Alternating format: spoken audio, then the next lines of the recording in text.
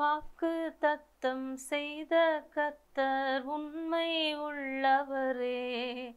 உன் காலங்கள் தாமதித்தாலும் வாக்கு மாறிடாரே. வாக்கு தத்தம் செய்த கத்தர் உண்மை உள்ளவரே. உன் காலங்கள் தாமதித்தாலும் வாக்கு மாறிடாரே. உன்னை உயர்த்துவார் என்னை உயர்த்துவார் நம்மை உயர்த்துவார் என்றென்று மாறிடாரே. உன்னை உயர்த்துவார் என்னை உயர்த்துவார் நம்மை உயர்த்துவார் என்றென்று மாறிடாரே. ஆபிரகாமை அழைத்த தேவன் உயர்த்தவில்லையா? அவன் சந்ததி பூமி மணலத்தனையாய் ஆக்கிடவில்லையா? ஆபிரகாமை அழைத்த தேவன் உயர்த்தவில்லையா? அவன் சந்ததி பூமி மணலத்தனையாய் ஆக்கவில்லையா? உன்னை உயர்த்துவார் என்னை உயர்த்துவார் நம்மை உயர்த்துவார் என்றென்று மாறிடாரே. தானியேலை தெரிந்த தேவன் உயர்த்தவில்லையா?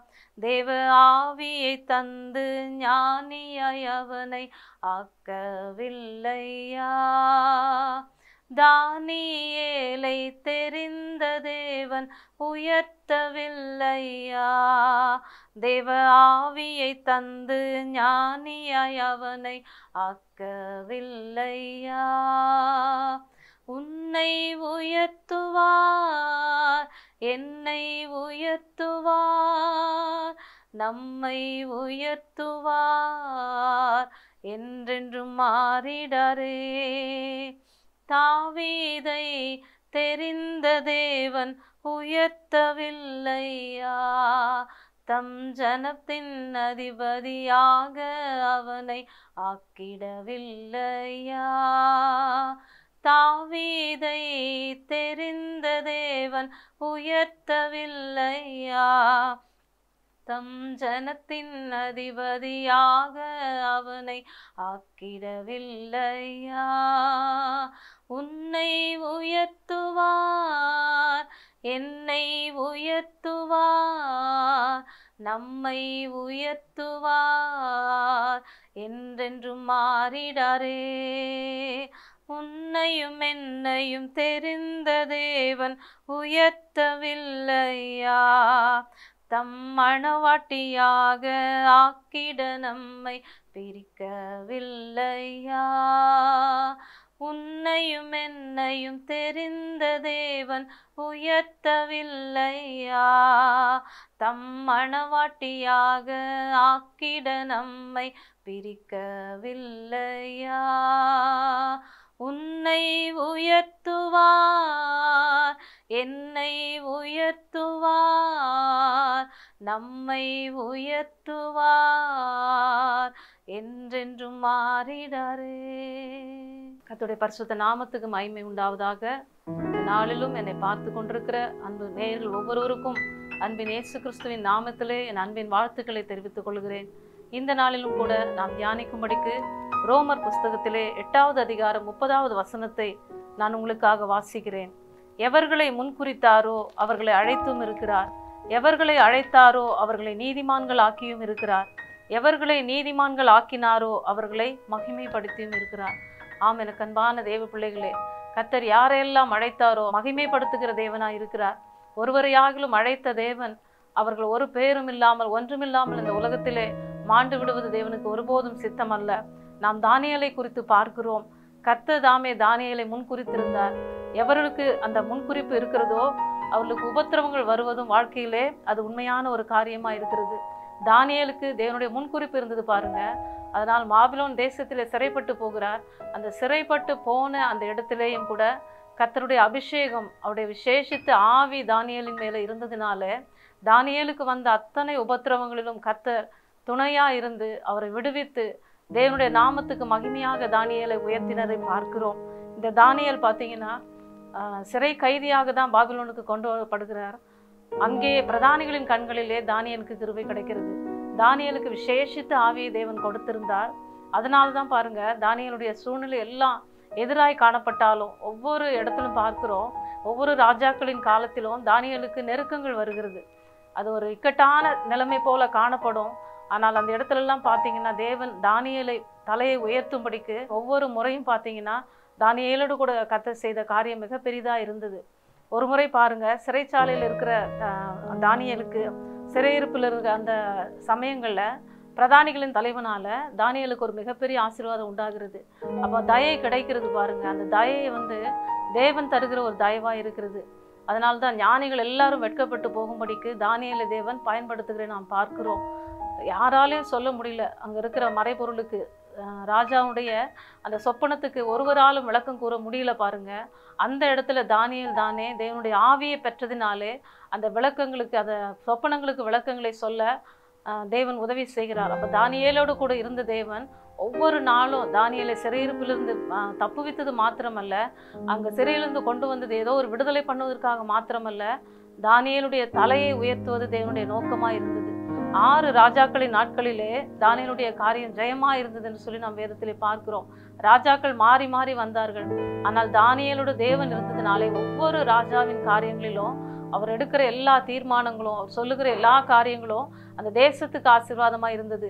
அரண்மனைக்கு ஆசீர்வாதமா இருந்து அந்த ராஜ்யத்துக்கு ஆசீர்வாதமான காரியங்களை தானியல் மூலமாய் தேவன் செய்து முடித்தார். அப்போ ஒருவரோட தேவனுடைய ஆவி இருக்குமானால் நிச்சயமாகவே எவர்களை தேவன் முன்குறித்தாரோ எவர்களை தேவன் அழைத்திருக்கிறாரோ அவர்களை மகிமைப்படுத்துகிற தேவனா இருக்கிறார்.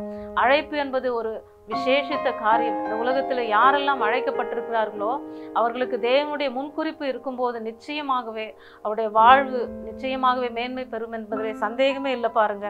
விசேஷித்த ஆவி தானியலோடு இருந்ததுனால தான் ஆவியானோடு அவரோடு கூட இருந்ததுனால தான் இதெல்லாம் அவருக்கு செய்ய முடிந்தது. அப்போ அவர் என்ன செய்தார்? அப்போ தானியல் என்ன செஞ்சார்னு பார்க்க போனா மூன்று வேளையும் கத்தரை தொழுது கொள்ளுகிறதுலே அவருடைய ஜெபிக்கிறதுலே ஒவ்வொரு நாளும் தன்னை வந்து அர்ப்பணித்து கொண்டார் பாருங்க. மூன்று வேளையும் தேவனை துதிக்கிறார் தொழுது கொள்ளுகிறார். சிங்கத்தின் கெவியில போட போறாங்கன்னு தெரிஞ்சும் கூட யார் வந்து ராஜாவை தொழுது கொள்ளாம சிங்கத்தின் தொழுது கொள்ளாம இருப்பவர்களை சிங்க கெபியிலே போடுவதுதான் வரப்பட்ட கட்டளை. அந்த கட்டளை வந்தபோது கூட தானியல் தாழ்த்தி தன்னை தாழ்த்தி ஒவ்வொரு நாளும் தேவ சமூகத்திலே தன்னை ஒப்பு கொடுக்கிறார் ஜெபிக்கிறார் ஸ்தோத்திரம் பண்றார் பாருங்க. இதெல்லாம் செய்யும் பொழுது அவர் செய்த எல்லா காரியம் ஜெயமாகவே இருந்தது. அப்ப தானியேலுக்கு விசேஷித்த ஆவி அப்போதான் ஆண்டவர் கொடுக்கிறார் பாருங்க. உலக தோற்றத்துக்கு முன்னரே அவர்களை குறித்த ஒரு முன்குறிப்பு இருக்கும் பொழுது அவருடைய அழைப்பு இருக்கும் பொழுது நிச்சயமாகவே அவர்களுக்குள்ளே தேவன் மகிமைப்படுகிறவராய் இருக்கிறார். அப்போ அவர் மாத்திரம் இல்லை அவருடைய நண்பர்களாகிய சாத்ராக் மேஷாக் ஆபேத் நேகோ என்பவர்களை குறித்து பார்க்கிறோம். தானியல் அவர்களுக்காக பரிந்து பேசும் பொழுது அவர்களையும் தேசத்திலே மாகாணத்திலே அதிகாரிகளாய் அதிபதிகளாய் தேவன் உயர்த்தி வைக்கிறார். விசேஷித்த ஆவி அவர்களுக்கும் கொடுத்து தேவன் நடத்துகிறார். அப்போ வல்ல சாட்சியாக நிறுத்துவது எப்போ பார்த்தீங்கன்னா தேவனுக்கு நாம் கீழ்ப்படியும் பொழுது. இந்த உலகத்தில் நாம் தெரிந்து கொள்ளப்பட்டிருக்கிறோம். தேவனாலே முன்குறிக்கப்பட்டிருக்கிறோம்.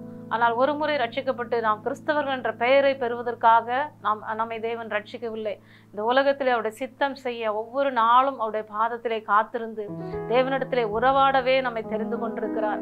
அவரோடு கூட பேச அவர் பேசின தேவ வார்த்தைகளை நாம் விசுவாசித்து வாசித்து ஒவ்வொரு நாளும் அதை இதயத்திலே தியானிக்கும்படிக்கு தான் கத்த நம்மை தெரிந்து கொண்டிருக்கிறார். இப்போ யார் இதையெல்லாம் செய்கிறோமோ நிச்சயமாகவே அவர்களுடைய வாழ்விலே தேவன் மகிமைப்படுவது அது நிச்சயமான காரியமாக இருக்கிறது யோசேப்பை குறித்து நாம் வேதத்தில் பார்க்கிறோம். யோசேப்பும் தேவனால் தெரிந்து கொள்ளப்பட்ட ஒரு பாத்திரம் பாருங்கள் அப்போ அவரால் தெரிந்து கொள்ளப்பட்டிருந்தாலும் குழிக்குள்ளே போடும்போது அவரை மீட்டெடுப்பது அவருடைய உயிரை காப்பாற்றுவதற்காக மாத்திரமல்ல. அவர் செல்ல போகிற ஒவ்வொரு இடத்துலையும் தேவ நாமத்தை மகிமைப்படுத்தவே தேவன் யோசேப்பை தெரிந்து கொண்டார். அந்த யோசேப்பின் மூலமாகவே முழு அவருடைய முழு குடும்பத்துக்கும் இஸ்ரவேல் ஜனம் அனைத்துக்கும் ரட்சிப்பு உண்டாகும்படிக்கு தான் தேவன் யோசேப்பை தெரிந்து கொண்டிருக்கிறார். மோசையை குறித்து பார்க்கிறோம். மோசை நாணல் பெட்டியில வைத்து தண்ணீரில் விடப்படுகிறார் பாருங்க. அந்த இடத்திலே அவரை உயிரை காப்பாற்றுவதற்காக மாத்திரம் தேவன் மோசையை ரட்சிக்கவில்லை மோசையின் மூலமா இஸ்ரவேல் ஜனங்கள் மோசேக்கு மோசே வந்து இஸ்ரேல் ஜனங்களுக்கு ரட்சகராய் போக வேண்டும் என்பதுதான் தேவனுடைய நோக்கம். இப்படி பார்த்தீங்கன்னா எல்லாருமே வேதத்தில் இருக்கிற ஒவ்வொரு பாத்திரங்களும் தேவனால் தெரிந்து கொள்ளப்பட்ட பாத்திரங்கள் அவரால் அழைக்கப்பட்ட முன்குறிக்கப்பட்ட பாத்திரங்கள் ஏதோ ஒரு மீட்பை உண்டுவதற்காக மாத்திரம் ஜீவனை ரட்சிப்பதற்காக மாத்திரம் அவர்களை தெரிந்து கொள்ளவில்லை. அவர்கள் மூலமாய் அநேகருக்கு ஆசீர்வாதம் உண்டாகும்படிக்கு இந்த உலகத்திலே தேவன் வைத்திருக்கிற உன்னத நோக்கம் நிறைவேறும்படிக்கு தான் ஒவ்வொருவரையும் தேவன் தெரிந்து கொண்டிருக்கிறார். என்னை பார்த்து கொண்டிருக்கிற அன்பான தேவ பிள்ளைகளே உங்களையும் தேவன் தெரிந்து கொண்டு நோக்கம் இதற்காகவே. உங்களை ரட்சிப்பதற்கு கிறிஸ்தவர்கள் என்ற பெயர் கொடுப்பதற்கு அல்ல. உங்களை ரட்சித்த தேவன் உங்களை முற்றுமுடிய வெற்றி சிறக்க பண்ணி அவரை ஒவ்வொரு நாளும் நீங்கள் தேடும் பொழுது உங்களுடைய எல்லா காரியங்களிலும் ஜெயம் பெற்றவர்களாய் இந்த உலகத்திலே வாழவும் உங்கள் மூலமாய் அநேகர் ஆசிர்வதிக்கப்படும் உங்கள் மூலமாய் தேவனை அறிந்து கொள்ளவுமே தேவன் உங்களை தெரிந்து கொண்டிருக்கிறார்.